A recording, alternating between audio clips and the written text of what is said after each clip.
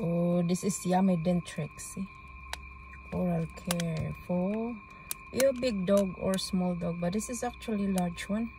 So I can't squeeze them. Uh, cut them in half and I give it to my our pet. Which is they always love it. Yummy. It's really helped them to strengthen and make stronger their tooth and um, that's why they just kind of kind of also the see this one here?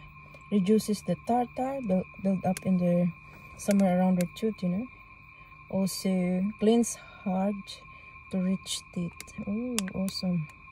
And also support the gum health too prepare gum health to give a go. So actually it's a bit cheaper in Woolies now. We bought this like um four dollars or something. Um like 40 cents